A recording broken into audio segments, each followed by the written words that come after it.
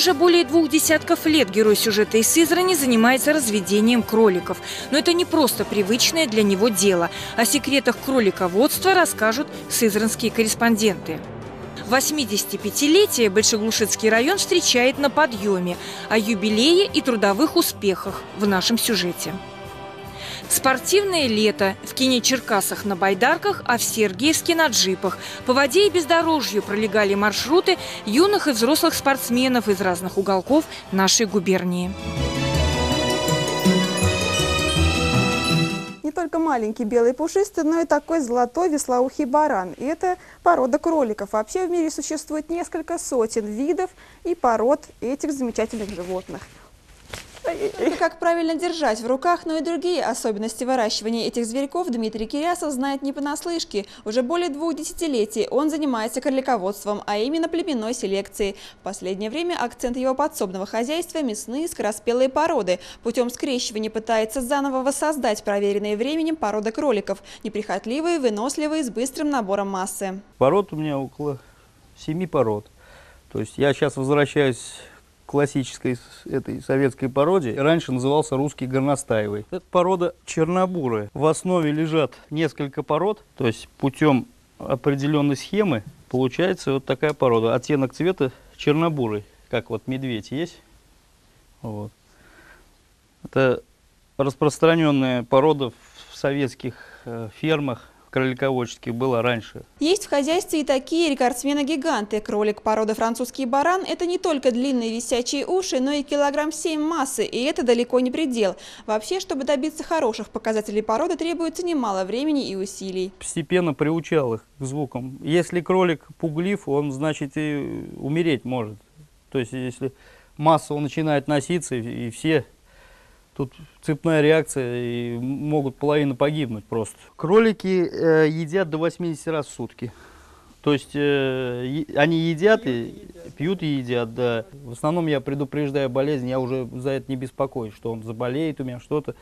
Я профилактические мероприятия по предупреждению болезни делаю.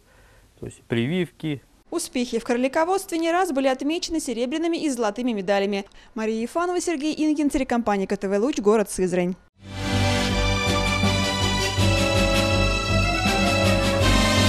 Большеглушицкий район образован в 1928 году. На его территории располагается 33 населенных пункта. Здесь проживает более 21 тысячи человек. Приоритетная отрасль производства – сельское хозяйство. Основные площади сельхозугодий засеиваются зерновыми культурами, озимой рожью, яровой пшеницей, ячменем. Умеют здесь не только растить урожай, но и праздновать трудовые успехи. На 85-летие района, которое отмечалось в прошедшие выходные, звучали благодарственные слова в честь высоких достижений в земледелии и переработке сельхозпродукции. Персонально чествовались все, кто своим трудом славит район. Мы на протяжении уже последних двух лет лидируем по всей области практически между, а, я даже хочу сказать, всеми районами, не только южная зона, а вот именно всеми районами. Мы в прошлом году сдали больше всех зерна – 105 тысяч тонн.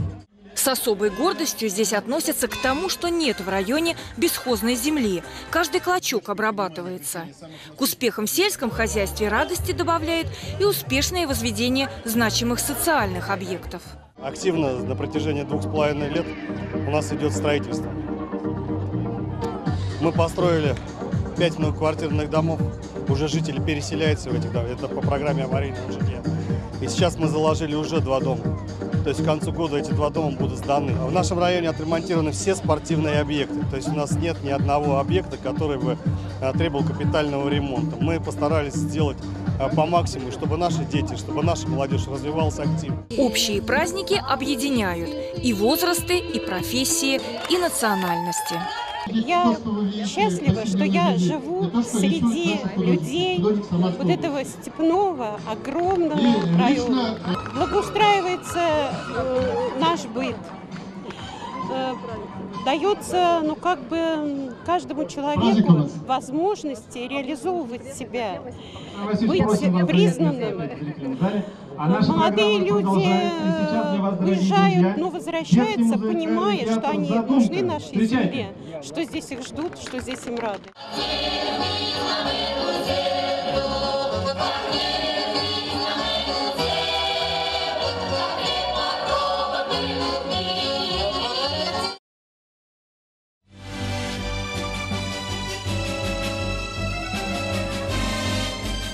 Около 200 молодых специалистов в этом году вышли из стен Безенчукского аграрного техникума.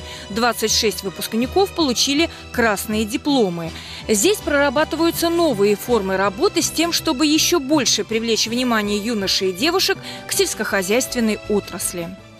В этот праздничный день дипломы получили выпускники семи специальностей – агрономы, технологи, ландшафтники, строители, повара-кондитеры, а также монтажники санитарно-технического оборудования и трактористы-машинисты. Жизнь была насыщенной, прекрасной, все понравилось. Конечно, печально, что уходим.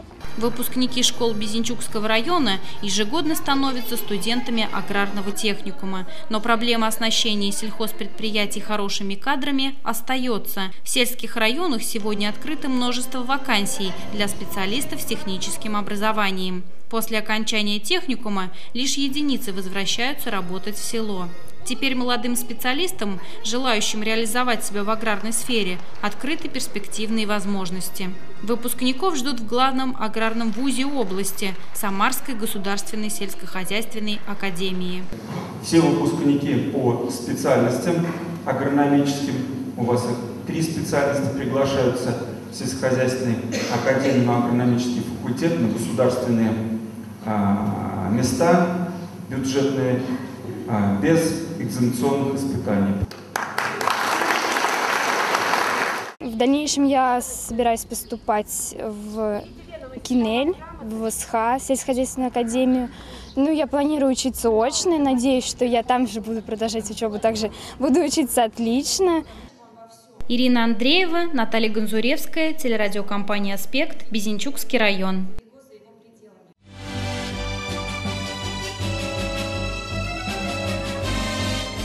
В Сергиевском районе автофестиваль «Взрослые игры» стал уже традиционным. Он привлекает к участию все больше спортсменов-любителей бездорожья и адреналина. Сюда они съезжаются из самых разных уголков Самарской области. Более 70 экипажей из Самары, Саратова, Республик Башкирия и Татарстан демонстрировали своих монстров, проводя последние приготовления. Перед стартом по традиции участники соревнований возложили цветы к подножию памятника Сергию Радонежскому. Шесть зачетных категорий. Стандарт, экспедиция, анлим, спорт, туризм и АТВ. Каждая стартовала в разное время, так как и на прохождение точек отводилось от 10 до 24 часов. Для участников организаторы приготовили 5 трасс различной сложности. Новичок приехал, у новичка есть своя трасса, да, то есть у взрослого человека, который уже гоняется, то есть который уже знает, там машина подготовлена, у него другая трасса, они не должны пересекаться. Мы пытаемся создать условия то есть для всех, и для любителей, и для профессионалов. На этот раз самый легкий класс носил название «Экспедиция». Задания для него отличались от остальных. Сюда больше вошли элементы мини-туристических маршрутов по памятным объектам Сергеевского района. Самые подготовленные соревновались в классе «Анлим». Именно им достались глубокие броды, топкие болота и крутые склоны. Не, надо съезжать!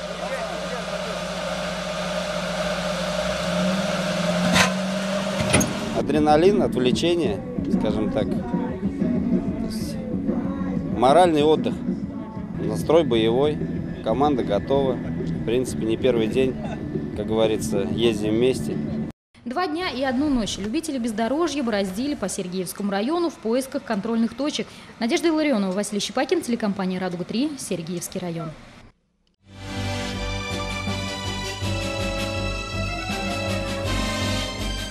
Детям Тимашевской школы Кинель-Черкасского района летом не бывает скучно. Они туристы, участники детского объединения «Туризм».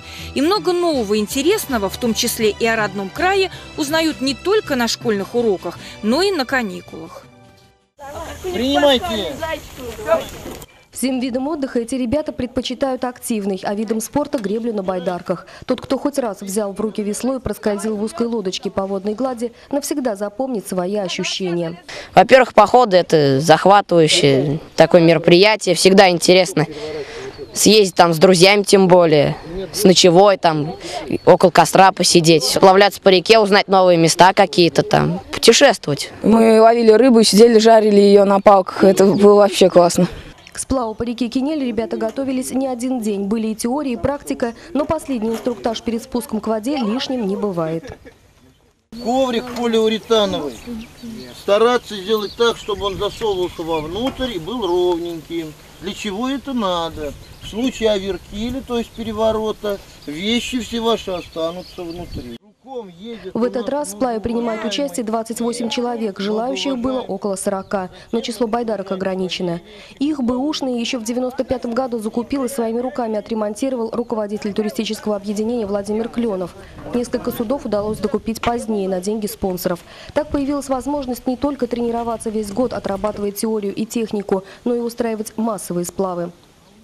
И итогом годовой программы детей, детского, воспитанников детского объединения туризма является поход, байдарочный поход, где они проверяют свои знания, умения, физические данные э, и э, сразу же собирают материал, связанный с экологией и с природой, для того, чтобы готовить краеведческий материал. Естественно, будет идти еще экскурсии, я буду давать экскурсии, то есть по истории родного края. Среди участников сплава лишь несколько ребят-пятиклассников – новички. Большинство же байдарочников уже имеют спортивный стаж и даже победы. Они вполне способны справиться с задачами инструкторов, провести мастер-классы для самых неопытных. Ну, в принципе, если немножко потренироваться, Алина, которую в группе называют не иначе, как товарищ Африкантова, вошла в тройку лидеров последних областных соревнований – гонках, на байдарках и каяках. Вот я заняла третье место, были подарки, было очень приятно, это все-таки воспоминания такие. Весь поход рассчитан на три дня. Через каждые 40 минут байдарочники будут причалить к берегам рек Малый и Большой Кинель. Во время стоянок ребята будут не только отдыхать. В обязательную программу турпохода входит уборка мусора на местах стоянок с последующей его утилизацией. После двух ночевок возле сел Кинель-Черкасы и Марковов туристы вернутся домой. Традиционно усталые, но очень счастливые. Елена Королева, Алексей Ковригин, 51 канал из Кинель-Черкас.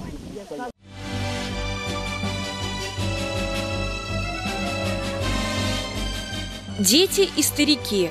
Эти категории населения нуждаются в особой защите. И от того, как им живется в том или ином селе или городе, во многом зависит наше представление о его благосостоянии.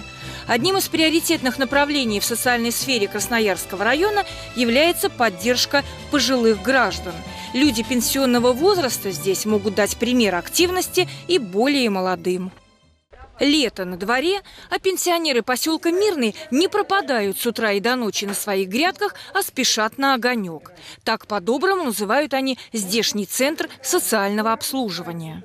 У нас огонек всегда горит на нашей сопочке. Мы знаем, что нас всегда примут здесь, что нам всегда дадут значит, помощь, займут делом. Мы занимаемся, ну, как сказать, и, и трудом. У нас прекрасный это самый хор, мы занимаем, занимаемся пением. У нас великолепный человек, который занимается с нами физкультурой. Здесь их всегда ждет разнообразная программа. После серьезных мероприятий проверить показатели здоровья, физически размяться на тренажерах – приятные занятия. Попеть, в бильярд сыграть, своими руками своять работы для новой выставки декоративно-прикладного творчества. Ежедневно 95 человек получают вот такие услуги в социально-реабилитационных отделениях. В год оказывается около 500 тысяч услуг граждан пожилого возраста и инвалидов. Вот всеми нашими отделениями в целом взятыми. В районе такие центры называют неформально – центрами добра. По-другому и не придумаешь, ведь только в домашней доброй обстановке людям хочется задержаться здесь и пообщаться друг с другом. Работники центра встречают своих подопечных всегда приветливо, с неизменной улыбкой, даря им тепло своей души.